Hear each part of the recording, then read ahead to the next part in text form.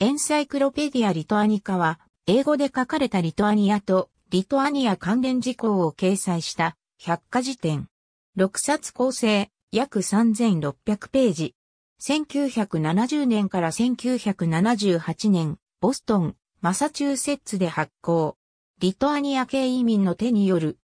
今日に至るまで、英語で書かれた理解しやすい資料としては、唯一のものであり続けている。や、エンサイクロペディア・アメリカーナに倣って付けられている、このエンサイクロペディア・リトアニカの出版は、それ以前にライオチュービュー・エンシロペディジャを出版した移民らの手による。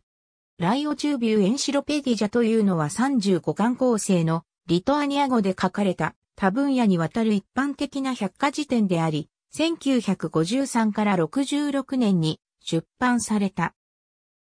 この企画は極めて複雑なものであったらしい。ほとんどの情報源はソビエト連邦の鉄のカーテンの向こう側にあったからである。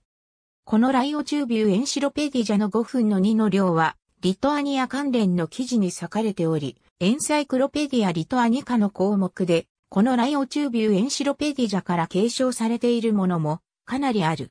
つまりエンサイクロペディアリトアニカの項目の大半は、まず、リトアニア語で書かれた後に英語に翻訳されたわけである。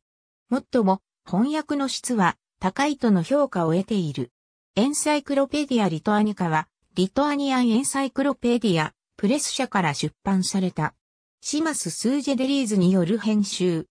端末に197人の執筆協力者の名が掲載されているが、リトアニア人以外のものはわずか片手で数えられるほどである。ありがとうございます。